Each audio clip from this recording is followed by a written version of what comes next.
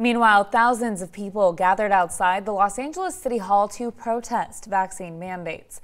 This crowd rallied Sunday at Grand Park to hear speakers and performers while trucks from the People's Convoy blocked traffic. Though most COVID related mandates have been lifted, many public workers are still required to get vaccinated.